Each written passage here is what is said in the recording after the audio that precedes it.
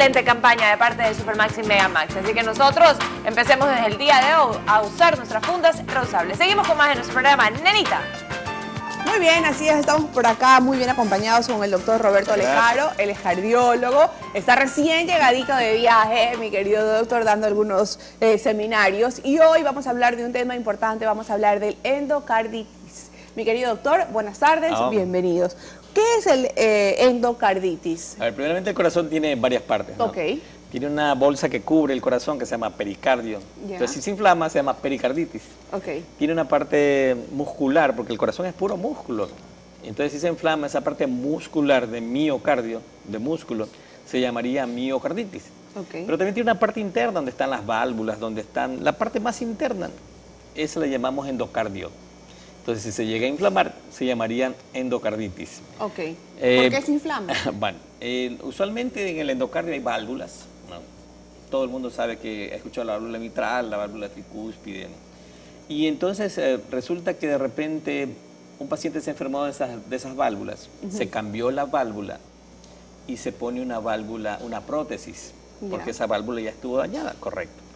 Ese paciente está tranquilo. Si es un paciente diabético, si es un paciente que tiene algún, las defensas bajas, es muy fácil que las bacterias de la boca, de cuando se cepilla, ahí hay bacterias que se llaman estafilococos, que se llaman estreptococos. Esas bacterias viajan por el torrente sanguíneo y se pueden ir a cualquier lado. Y se van al corazón también.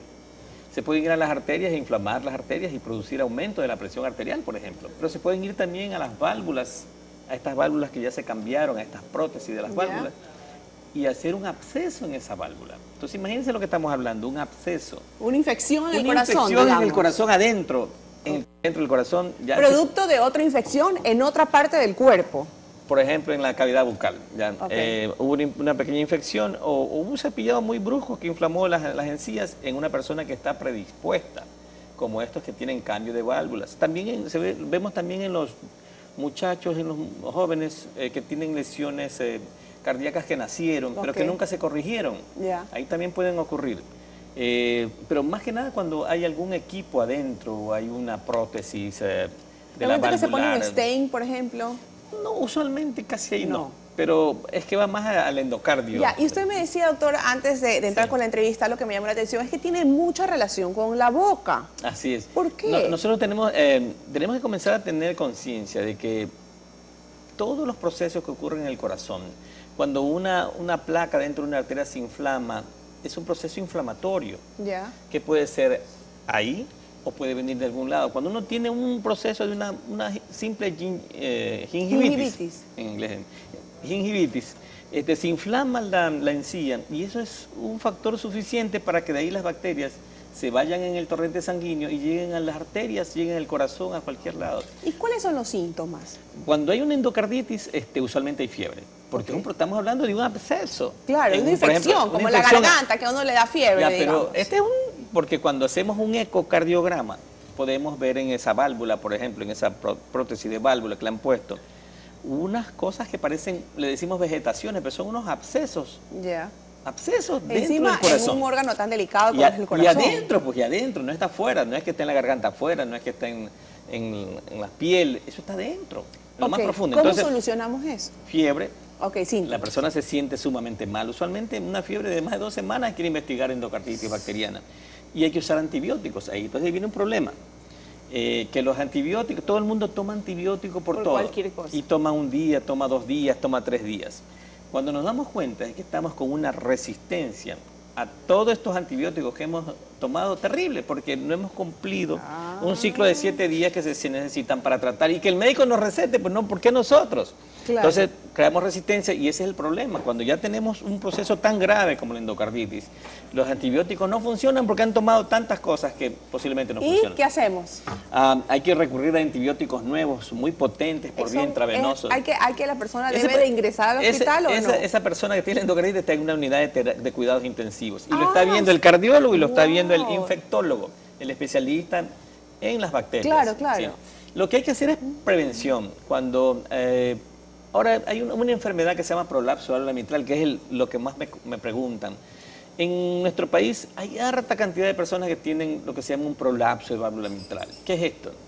La válvula mitral es una válvula que tiene dos valvas que cierran igualito. Pero de repente, así como uno tiene algo más grande que el otro, una mujer tiene una mama más grande que el Claro, otro. un ojo más grande que el un- otro. Un hombre tiene un testículo. Eso es normal. Ok. Así igual también la válvula mitral puede nacer con una valva más grande que el otro.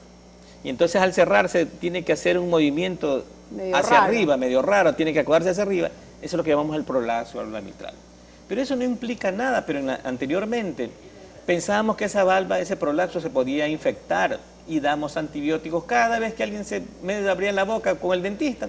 Le damos antibióticos para prevenir la infección del prolapso oral mitral. Eso ya no se hace. Ahora, doctor, solamente cuando hay infección, alguna enfermedad o algún daño en la boca es que se puede dar la endocarditis o también puede ser por otros eh, Puede haber, motivos. puede haber o- o- otras causas, pero el más del 80% son productos de las bacterias de la boca, el estefilococo y el estreptococo. Entonces hay que hacer profilaxis, eh, tener siempre, andar donde el dentista periódicamente. Y si se tiene peor aún un cambio de una válvula o se tiene una enfermedad de nacimiento que no ha sido reparada, tiene que estar con mucho cuidado, porque ahí se, se puede hacer un absceso en la, en- Ya, dentro del dígame corazón. una cosa, pero esa persona que tuvo o tiene endocarditis, ¿va a volver a repetirlo en algún momento? Por supuesto Siempre y sí. cuando no se cuide su Por higiene bucal. sí. Si Entre- no, no hay problema. Entre las indicaciones para hacer ahora profilaxis, cuando uno va al dentista, profilaxis significa para prevenir. Claro. Va al dentista y darle el antibiótico una hora antes del procedimiento.